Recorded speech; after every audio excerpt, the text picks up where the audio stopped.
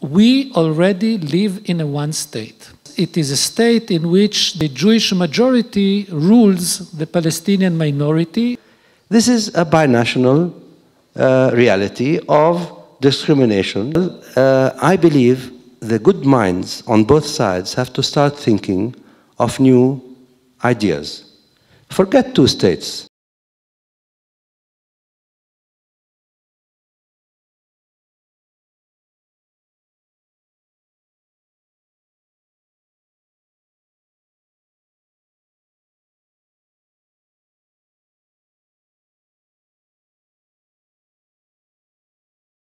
The Jews exercise ethno-security regime over the Palestinians. So the, the, the subject is not how to move from a vacuum to two-state solution or from occupation to two-state solution. In my analysis, occupation is mostly irrelevant or to, to uh, define the current situation. Because the problem is not only with the Israeli occupation over 67 territories, the West Bank and Gaza Strip. The ethnic, this Jewish ethnic regime includes also the Israeli Palestinians, the Palestinians who are uh, full Israeli citizens, unequal but full citizens. Of course, mathematically speaking, if you like, it is possible. But in order for this to be brought into reality, to come about, there needs to be far more effort put into uh, making this happen, in particular by the international community and in particular by the party that leads the international community, namely the United States of America. And unfortunately, this does not seem to be forthcoming.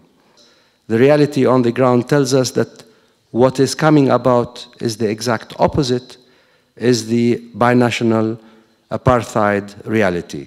But the problem is that this is not a, a conflict between two uh, balanced powers, it's an imbalanced conflict. One side is much more stronger and powerful than the other side. And the, the international community supports unfortunately supports the powerful side and do not work, do not do enough in order to empower the weaker side, the Palestinian side. And unfortunately, and here is my criticism over my Palestinian friends and colleagues, uh, unfortunately, the Palestinians hope, the, at least the uh, ruling elite, current ruling elite, hopes that the international community will give them freedom and independence, a Palestinian state, on a silver plate. And unfortunately, history shows that independence and freedom is something that you take and you grab and you do not get it on a silver plate. You have to struggle for. That's it. Now, I find it strange that you think that it will not go through the intervention of the international community. Of course, it should go partly through freedom fighting. And, you know, the Palestinians have, in fact, and continue to fight. At one stage, at one stage, uh, it was hoped that the fight would be moderated, would be tempered by a negotiation process leading to two states. And so the Palestinians, if you like, I mean, when Yasser Arafat went to the United Nations back in the 70s, he said, I carry a rifle in one hand, but I carry an olive branch in the other, and please don't let me drop it. Well, you know, you made him drop.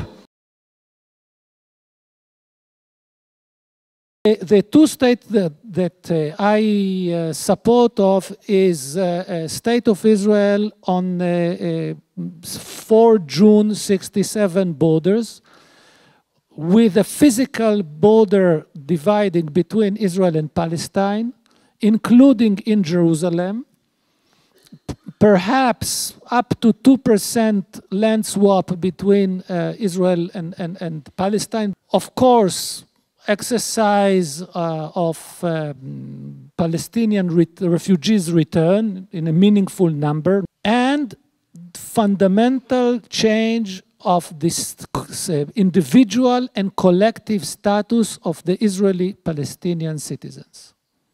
We cannot, I say we in Israel, we cannot continue uh, to deal or to treat with our Palestinian citizens as we do today. So, what is going to happen? Well, uh, I believe the good minds on both sides have to start thinking of new ideas. Forget two states. There's nothing sacrosanct about two states. Let us think about Palestinians, Arabs, and about Jews, and let us think about a future in which Jews can get what they want, which is uh, the sense of security, the sense of ethnicity that you talked about, culture, and that the Palestinians can do this. Can we not think in terms of a federation or confederation of regions, of city states? Can we think not of a situation over a, a period of years, extending a period of years, in which slowly, not immediately, but slowly, we can develop the rights of the Palestinians so that they can come to become equal with Israelis, economically, politically, and otherwise. I would like to follow your idea, but uh, to limit it to Jerusalem. Uh, I tried to promote the idea that let's go and uh, struggle together politically to give Jerusalemite ideas, status, to everyone who is, every Palestinian who is inside the barrier, and to give them full, full equality as Israelis. You want us to become Israeli citizens, the ones in Jerusalem? Let's begin with, with the blue ID and full rights to travel through no, I, I, suggest, I suggest we begin with Gaza. Give them citizenship. The, okay. the international community, by the way, is you. I mean, your taxes, your tax money is coming to us. Uh, and the idea is that this way of helping us is along the road of building up a state. But let us assume a state is not in the offing, what does one do? What do you do if you want to help? If, if help is to continue, perhaps it has to be redesigned.